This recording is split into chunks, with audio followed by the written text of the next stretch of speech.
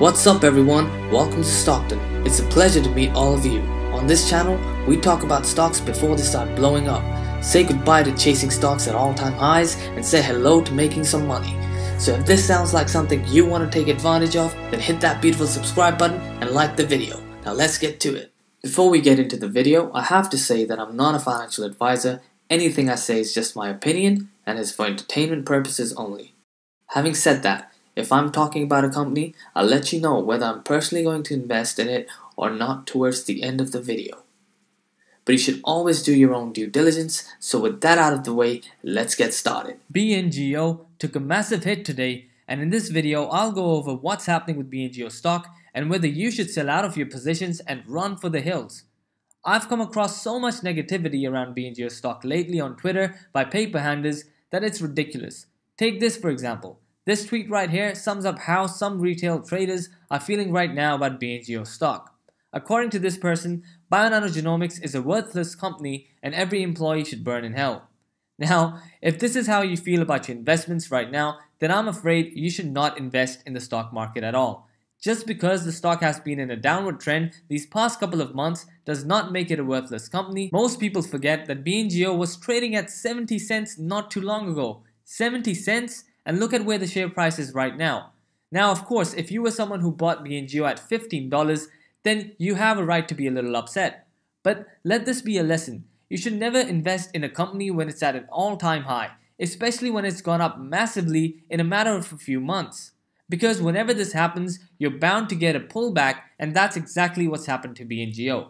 Look at CRISPR for example. This company is a gene editing company, so essentially, when BNGO finds structural variants, CRISPR goes in and removes these structure, structural variants and cures the person of whatever genetic disease they have. Now, CRISPR was trading at $210 not too long ago, and currently it's sitting at around $123. Has anything changed fundamentally about CRISPR? The answer is a resounding no. The reason I'm bringing up CRISPR is to show you guys that there are plenty of other companies that have also fallen massively this year. Patience, however, always pays off and time in the market always beats timing the market. No matter how you look at it, gene editing and gene sequencing are the future of healthcare and personalized medicine. Personalized medicine is expected to reach a market size of 1.7 trillion by 2026. This is a massive market opportunity for a company whose market cap is just 1.7 billion. Now, what does that mean? Does that mean you should buy the dip well, yes and no. If you already have a nice average and you're happy with your position size, then you just need to be patient. Patience is made easier by constantly improving your conviction in a company. Read up on studies conducted by BNGO and learn about the company. This will help you sleep better at night. But at the same time, it's important that you don't become your own echo chamber and that you look at the cons as well. Now, I'm long on BNGO and I'm not buying any more shares. That's because I have a good average and I'm happy with my position size. Let me repeat this again. Nothing has changed fundamentally about this company. There is no scenario that I can think of in which you lose all of your money unless you sell your stocks for a loss. But there's an important lesson to be had here. You should never buy stocks at all time highs. Look up RSI. The Relative Strength Index or RSI is an extremely useful indicator as it will allow you to find the right entry point in which you have limited downside.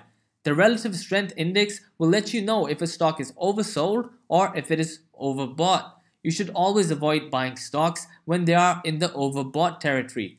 BNGO when it was trading at $15 was massively overbought.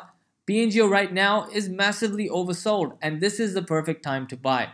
Now I'll leave you with the analyst forecasts for BNGO. As you can see, according to three analysts, the median price for BNGO is $14, so that represents a massive upside potential from these current levels. Now the bottom line with this stock is that I am not selling. This is a stock for the future and in 5 years, I'll thank myself for not selling my shares at $6 a piece. Anyways guys, I hope you have an awesome day and I'll see you in the next one.